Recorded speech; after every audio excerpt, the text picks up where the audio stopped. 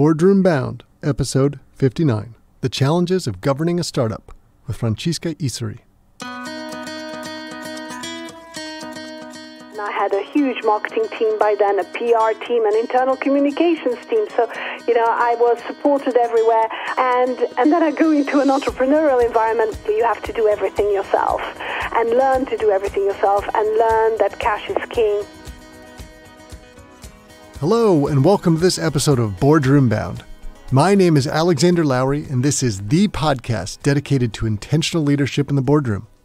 My goal is to give aspiring and existing directors the tips, tactics, and strategies necessary to transform your confidence and build a successful career as a board director.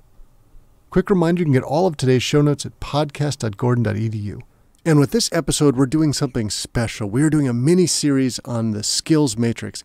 This is something I really want all of our audience to understand because this is how boards fill their seats. They're evaluating who do we have today, what are the skills, the expertise, the competencies, and who do we need for the future to fill those next few spots. So, what I want to do is introduce you over a series of several episodes to some good friends of mine who are specific skilled people and understand how those map back to a board who'd be looking for them. And it's directly translatable for for everybody who thinks about how do they build their own position of authority, become known for something in a niche, and then figuring out what boards does that fit with, and therefore go out and do the right networking to land the board seats.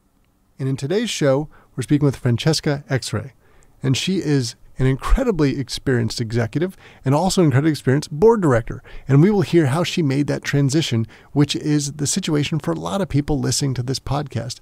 Now she's on some of the big names that you would go, wow, that's impressive, like being a non executive director for Air France, the giant airline. And we will hear how she took her expertise, her specialization, because she is a branding, a marketing, communications, digital expert. And she's also someone who is well steeped in the travel industry. How she took those two pieces, perhaps her pillars, if you want to think of it like that, and used that to leverage going forward and starting that board career. And then it took off from there. So we'll hear that personal story for her today. And then you can think about how that would apply for yourself. How do you position yourself accordingly? Now, I can't wait for you to hear this episode and think about how you can apply it to your own job search. Let's jump into the show.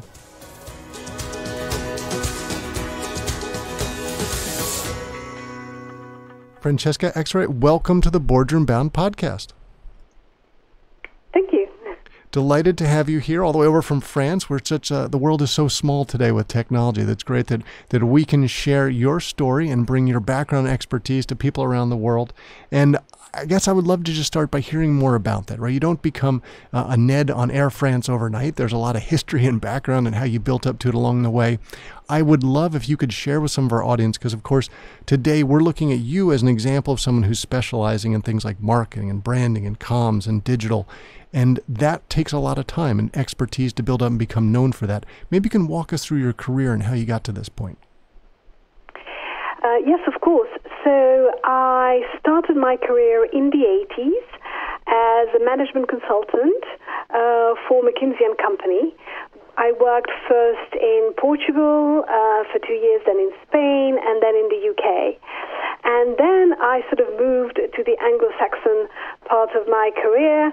Um, first, I went to business school um, at, at Harvard Business School, and then I moved uh, back to Europe, um, focusing very much on consumer goods and marketing.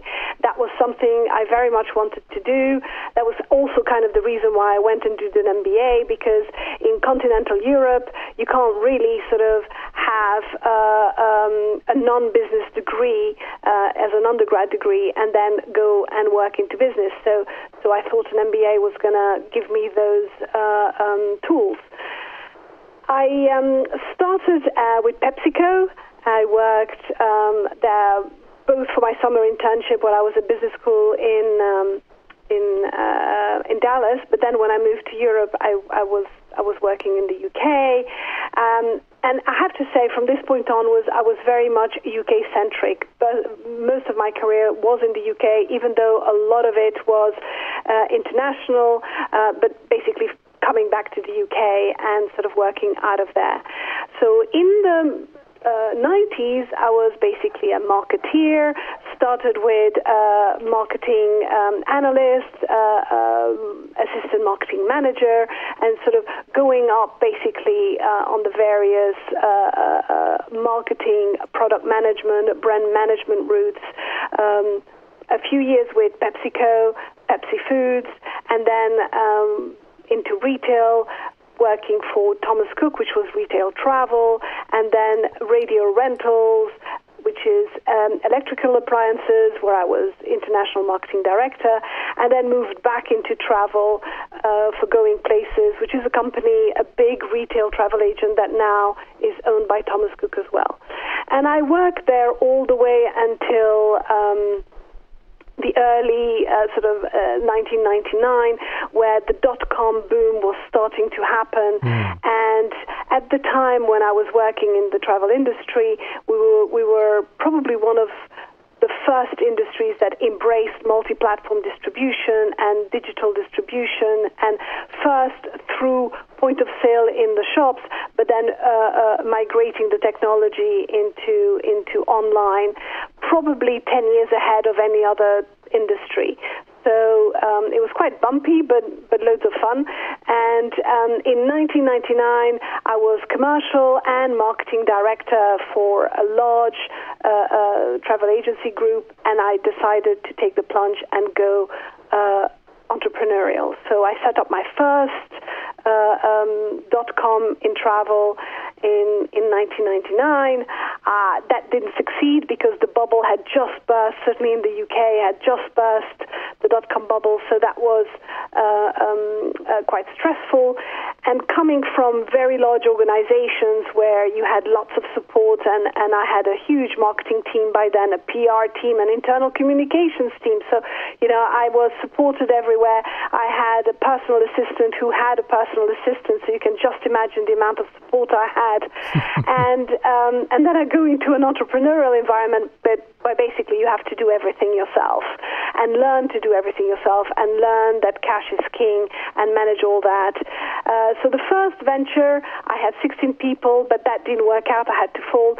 The second venture grew to 60 people, where I managed to raise venture capital funding and had offices in four countries in the UK, in London, in Paris, in Denmark, in Germany, uh, uh, in Munich, and sort of was working again on another travel.com called If You Travel that was specializing in ski and and and it was a, an amazing experience because we had the technology, we had the fun, and when I mean technology, you had to create the technology from your own bone marrow at the time. There was none of that open source stuff. You know, you had to do it yourself. So it was fairly stressful to create the technology, but very rewarding um, because um, at the time there was very few.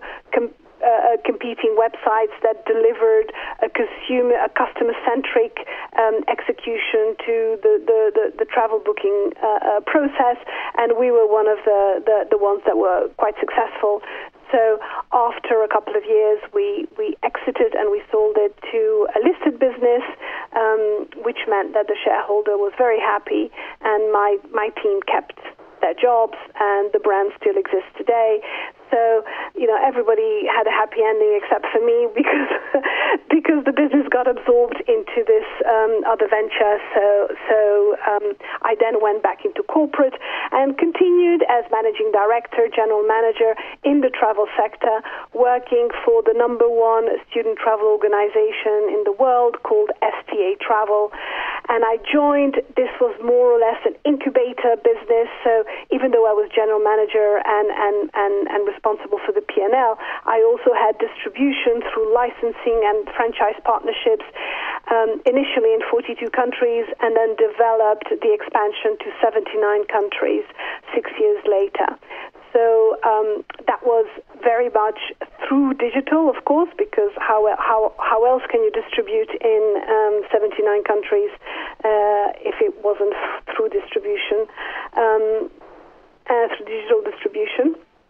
And after six years, I moved into a pure play uh, uh, digital travel uh, price comparison website called Cheap Flights Media.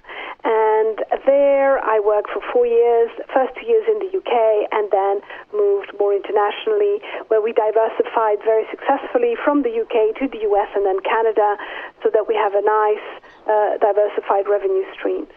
And um, what brought me to then, at that stage, uh, wanting to develop a portfolio non executive career is that actually, even when I was at STA Travel, that was something I wanted to do. Uh, because those 11 years of being an entrepreneur and working in, in, in, in travel and digital and, and, and technology um, uh, sort of was very, very operational. And even though it was huge amounts of, uh, of fun, it was also very challenging to do any type of strategy, despite the fact that I had to reinvent the business model a couple of times in both environments. So, so you, you spent a lot of time being operational and not enough time being strategic. And so I really fancied going back to strategy because effectively, you know, I started at McKinsey as a strategy consultant and, and I sort of wanted a, more of that in my life.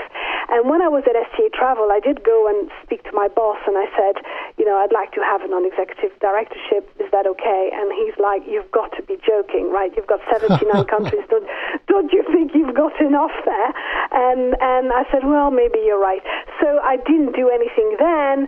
Um, but when I went to Cheap Flights, I said, right, I want to build it into my contract. So I did. I managed to build it into my contract, my employment contract, that I was allowed to do one non-executive directorship. But of course, when you're running P&Ls across across oceans, there is just no way you can spend any time doing your, your self-promotion or, or even networking. You're basically based out of the duty-free shop. So it is absolutely impossible to do it that way. So when the opportunity arose for me to sort of leave uh, Cheap Flights Media, I thought, okay, fine, this is now the right time to to to develop a little bit more of a footprint within the non-executive directorship community, and and it was very interesting because um, it didn't happen easily. It didn't happen obviously. Um, you know, I thought with 11 years of digital multi-platform distribution experience, running companies, doing that successfully was going to be a good uh, uh, entry ticket. The fact that I had Harvard MBA, the fact that I worked for McKinsey for four years, that worked for Pepsi and Thomas Cook and things like that, I thought all that would, would open loads of doors for me. But actually, because I was abroad most of the 10 years prior to this movement, I really had to start from scratch and I found it remarkably challenging. Um, and of course, it is very competitive as a space, but it was also very challenging because, um, you know, there I was at the top of my executive game, being rejected left, right, and center, and and and you know. I had to basically pivot and, and look at myself as a business and reposition uh, the skills that I have to offer and, and then sort of start marketing it until I got traction, basically. So that's how I ended up becoming a non executive director. There's so much that we can unpack there, and this is a great way to start. And I'm sure our audience heard throughout that a lot of specialization. So, for example, we heard a lot about the travel industry, right? So, we heard a lot about the the digital stuff, the marketing, the branding, and you could probably even just take those two strands and play it forward in your career and think this is the space you can play in. You don't have to shop for a board role everywhere because this is probably how you're going to stand out. And I think this is a, a useful point for all of our audience. I'd love to if you could explain that a bit more. Now, clearly, we can look at the end result and we can see Air France, We see that well, that's an obvious and direct fit with what you've been doing. But just like you said there, it would have taken a lot of networking and branding and activity to get to that space. So, what was it actually like when you decided? okay, now I'm going to plant my flag. Now I'm going to pivot. I want to be a portfolio of Ned careers, which is what you have now. How did that actually work out? What were the steps that you went through to lead to that success? First thing is to get a NED CV. Um, a NED CV is very different from uh, an executive CV, and and and sort of because that's your calling card. And it needs to work very hard. It needs to have a really good elevator pitch. It needs to pull out your skills and it needs to evidence them very, very quickly because effectively your CV you know, in any any any any situations. But your CV works. The the top the top half of the front page of your CV, that's the bit that is going to pull people in and to read the rest. So you need that bit there to work extremely hard. And and it wasn't it wasn't a, a, a slam dunk, despite uh, uh, uh, all my skills and everything I had to offer. Because the key is to communicate it and to make sure that it lands uh, uh, in an appropriate way at the right time. And and I'm sure you've heard you have to be at the right place at the right time. Well, actually, in this situation, you have to be everywhere uh, all the time, which is fairly challenging. Which is why the CV needs to needs to stand on itself on its its own right and be able to sell you and, and, and to sort of open doors for you. So it took me a while. I had a couple of goes. So, of course, I had my CV, my executive CV, which was the stuff I came out with Harvard Business School. And, you know, every time I had a new job, I would add it at the end and it would do a wonderful job. And, and you know, because it was all about achievements and about being an executive and making things happen, it was, it, it, it was, it worked for me. So I, I actually didn't get very many rejections in my life. That's why it was a bit of a shock when I got into this space to get so many rejection because you kind of need a, a strong nervous system to be able to navigate all this, um, especially as a woman. Because at the time I thought, you know, you read everywhere, people want women. Well, yes, they do. They certainly want to meet them, but they don't give them the jobs. And if you look at the stats, you can see that there's very, very slow evolution. So as a woman, you need to you you need to do a lot more than, than I would say some of my fellow uh, uh, uh, male board directors are able to get away with in terms of to get traction and to get noticed and to get hired.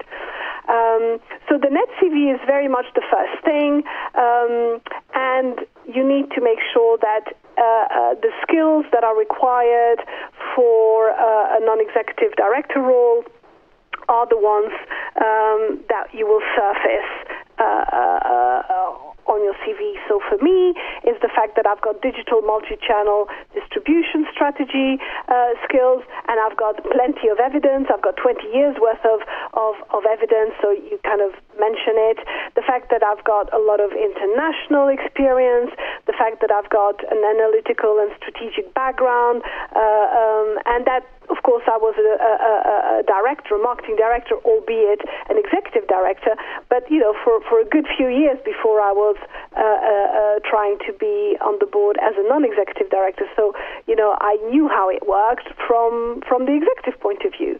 Um, so all of that needs to surface in the first half of your CV, and then of course have a really punchy uh, um, elevator pitch, which will then get people to read more about what I've actually done in each of the jobs and all my achievements. Um, but the NED CV is probably um, the, the, game changer. Um, the first one I had, you know, I actually hired a, a, CV writer. I spent quite a bit of money on it. I had a two-hour meeting, and they, uh, you know, a bit like, you know, NED CVs are us, if you were. And uh, and out came a CV, and I thought it looked great. I was certainly they told me it looked great, and I didn't get a single meeting on the back of it. And the reason for it is because it was very unauthentic. You actually need to go quite a bit back researching into into your database, into all the things you've achieved in your work and life experience to be able to construct a NED CV that is rooted in authenticity and actual facts uh, and not sound like every other CV that, that you see full of hackneyed terms that actually uh, don't give any particular evidence uh, for, for your claims. Um, so that's the CV. The second one is LinkedIn, and and LinkedIn for me, you really need to work it, and there is plenty of opportunities to, to, to make sure that it's right. LinkedIn is quite helpful. There are loads of YouTube and and loads of uh, uh, um, sort of tips on how to make it work, but the key thing is to make it complete. And um, and I remember I had like this discussion with this friend of mine who said to me well, you know, everybody knows what Goldman Sachs is. I'm like, no, they don't. You need to go and explain what it is, you know, the size of it and the size of your responsibility. You need to actually give facts and figures because some people may not know and then they may be too embarrassed to go and ask you, like, well, what do they do? Because it may be that if you're an investment banker, you know all about it. But if you've been um, sort of an astrophysicist, you may not. And yet, if you're the recruiter, you need to make sure that they don't have any questions so that it's all there in your CV and it's helpful um, or on your LinkedIn profile. And so I, you know, I, I just think you have to, uh, once you've got your CV, you have to make sure you load it up LinkedIn. You have to connect to everybody that you know from all uh, uh, your your contacts. So make sure that you only connect to people that you do know, um, but but sort of start deploying your um, your net and make sure that you're connected to the to the to your contacts, but to the decision makers, to headhunters, to wh- whoever are the multipliers in this process, so that um, they can refer back to you, they can find you easily, and and they've got the information they need about you very very easily. And Francesca, so if you've if you've built this great CV, which is sort of one half, and the other half is LinkedIn, sort of your push pull marketing, right? Because one people find yeah. you, the others you're you're sending it out to them, and you've documented and you built out this profile so people can understand your story.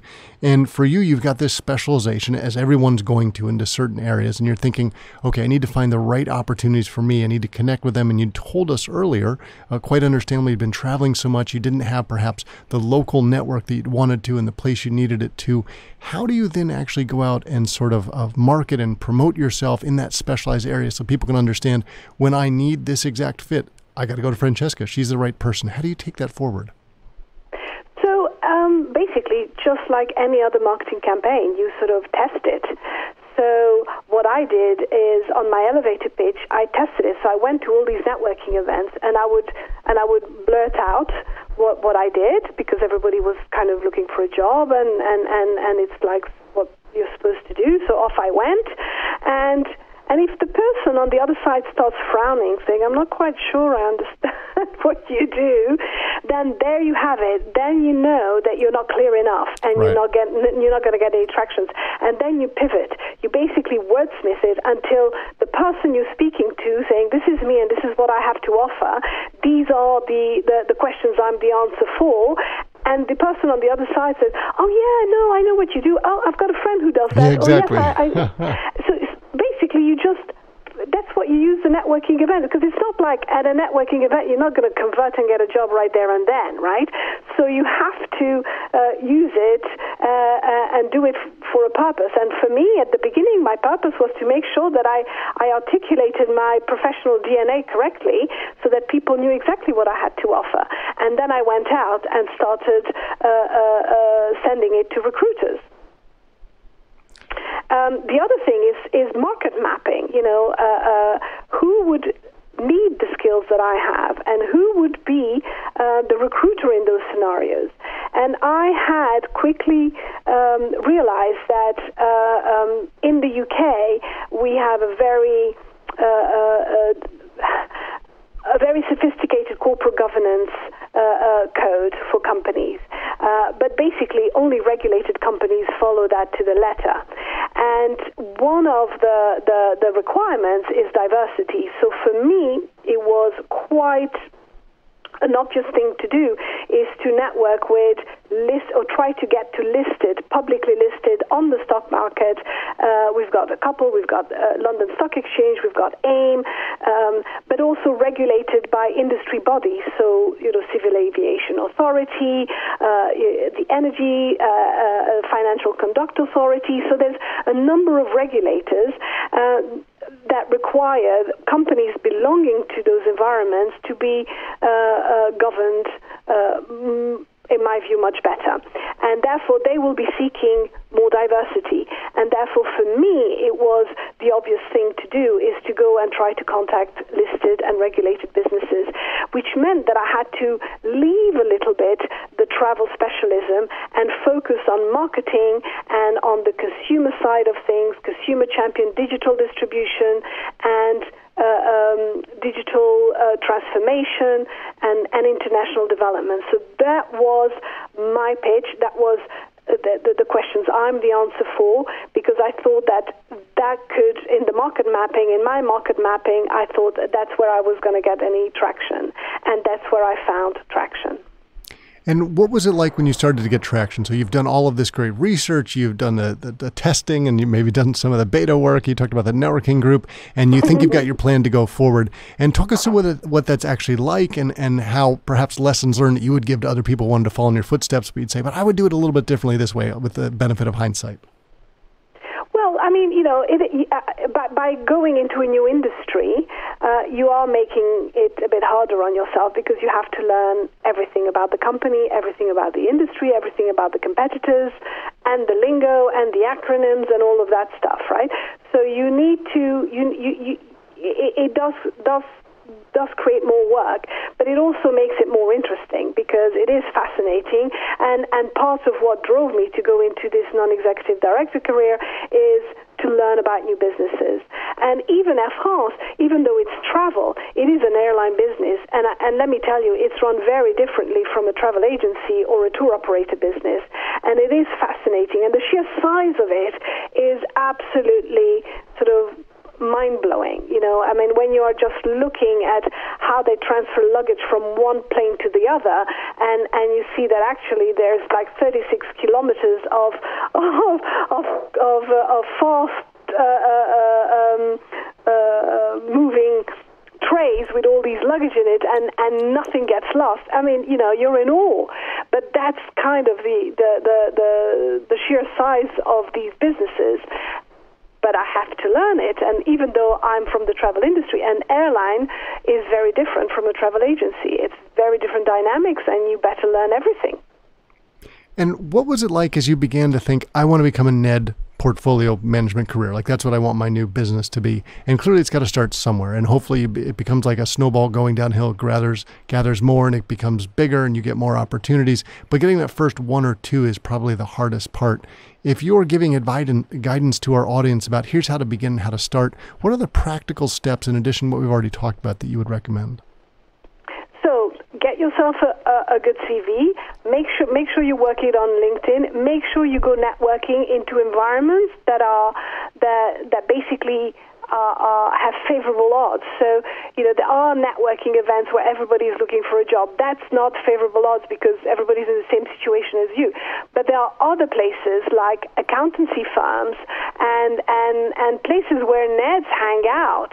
Uh, that's where you need to go and network because that's where you will be able to um, first test your elevator pitch properly, but also sort of make connections and sort of start multiplying and get tips because anybody who sits sits on a board as a NED will have an opinion on how best to get the next NED or how to get on their own board because eventually in the UK you have to rotate off every, every nine years and if you've got three non-executive directors rotating off every three years, soon there's going to be a vacancy. So you can start developing relationships that way. Um, but you have to be also quite open-minded about the opportunities. I think I would have been left on the shelf quite a long time if I was going to be completely completely entrenched in being in the travel industry only. The fact that I opened myself up to other industries and I was prepared to put the work in um, opened up opportunities.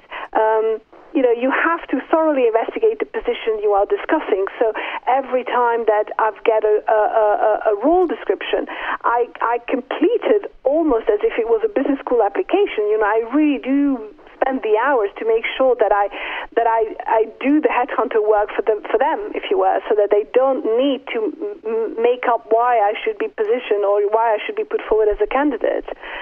Um, and and you know it's it's it's good to take yourself out of your comfort zone and and and it's important to stay current and agile. So right now I am trying to uh, position myself so that I am considered for uh, chair of remuneration committee, which you know after nine years would be a, a, a good natural step for me.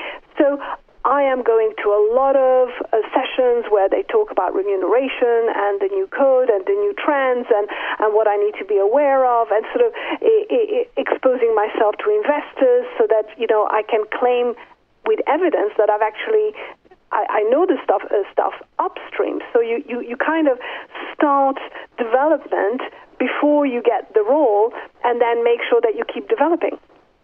And that makes sense. And I think this also ties in with a larger perspective. And you talked about earlier about you're going to have to research the companies, the opportunities, their competitors.